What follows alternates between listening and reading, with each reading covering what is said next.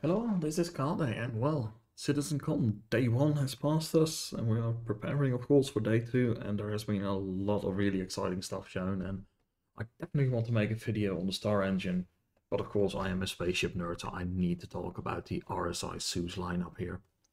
Now, we'll try to keep this one fairly short and concise, but if you want to have the extremely short version, they're freaking amazing, they blow the competition out of the water, if any of these ships fulfills a role that you want to play with, you know, for yourself, probably with one, two friends, get one of these ships.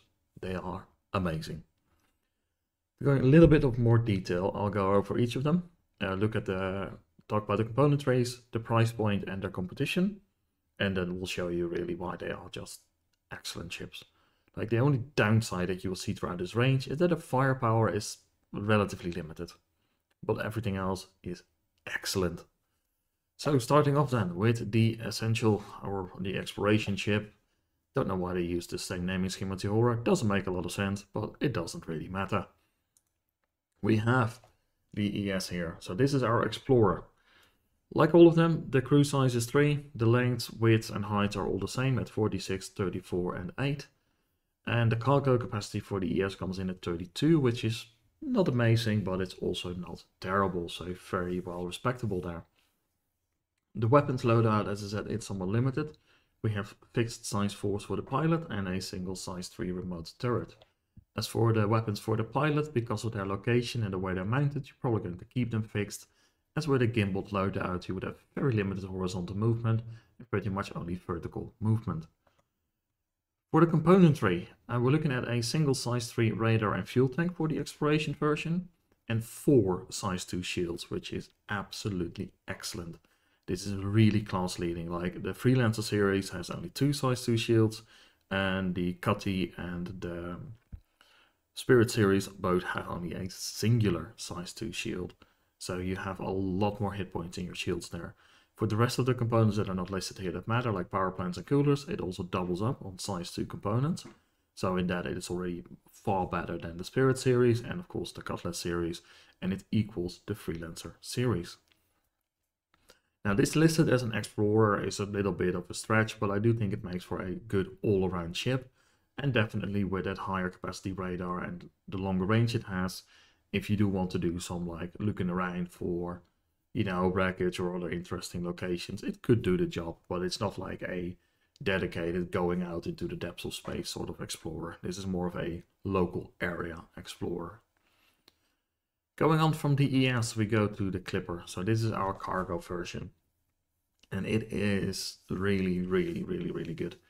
And the most important thing here is that we see the same sort of capability that we see with the Crusader Spirit C1 with our rear mounted tractor beam. This of course helps you with loading and unloading cargo in places where there are limited facilities and of course most limited facilities in deep space itself. So that's going to be a very useful feature. But the most amazing thing about this one is a 128 SU cargo capacity that is really blowing the competition out of the water. So whether that competition in your Freelancer series, your Cutlass, or even Argo Raft, it just exceeds all of them. And then for the componentries here, we are making a bit of a change from the essential. We're going down to size 2 radar and two size 2 fuel tanks. And also we're losing one of our shield generators. But three size 2 shield generators is still class leading. So it is a very, very capable little ship. Like if you have a Crusader Spirit C1, definitely drop down the upgrade for the Clipper here. So your upgrade is going to be for the Warbond here it's 135, just like the Essential, and 115 credits. So you're looking at a upgrade cost depending on which, if you got a War Bond or uh, credit originally, an upgrade cost of between 25 and $50, which is of course a fair amount. But the amount of capability that you get in return for that is so much more that I think it's really hard to justify and not doing it. If you're running a Freelancer Max series and stuff like that, probably also you want to upgrade. This thing is just more capable than either of those ships. And for the final version, which is of course the most interesting one, the Mark over here, this is being marketed as our bounty hunting ship and it has all the features for it. But of course, the things that make a ship an excellent bounty hunter in this category also make it an excellent pirating ship. So if you're looking into the uh, combat profession and you want to do the more interesting form of combat, so those are the bounty huntings and the pirating operations, this ship is really hard to pass up. Now I will say because of the remote turrets of course need to be controlled by other players, this is the ship where you definitely want to go with a three-man crew. So you have your pilot and one of the persons on those turrets.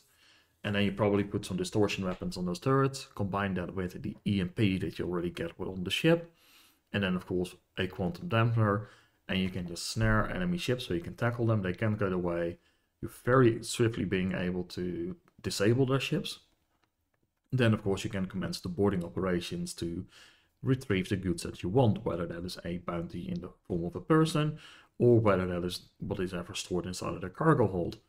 Now it only has officially 16 SC of cargo capacity, but if you look at the interior layout, yeah, you can probably fit a fair bit more cargo in there if you're just, you know, being like, it is not secure, but it will do the job. So yeah, this ship is going to come out at a high price, so 170 war bond and 190 credits. But it is a really, really good all-around package, and it's really tempted. And in general, this entire lineup is literally Zeus coming down and just being like, Remember who is in charge. Roberts Space Industries. Like, it is insane just how much these things outclass their competition.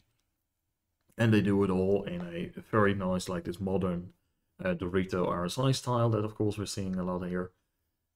Yeah, they're just really hard to pass up. And I think if you want that chip for that multi-role, multi-crew gameplay, but even if you're running solo, for quite a few of these operations, they are really hard to pass up. They make for an excellent, excellent ship uh, to get into the first with. And any of these ships, if you just want to have one ship that is slightly larger than your average starter, is going to be a really, really good starting point for your adventures into the first.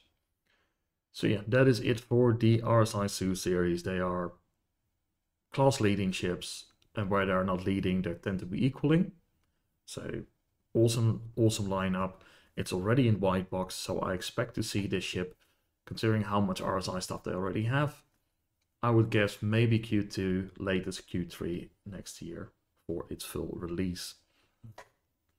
Anyhow, that has been it for me. I hope you found it at least somewhat informative. And as I said, I will definitely go make a video on the Star Engine because that is going to be a industry-wide game changer if it works fully.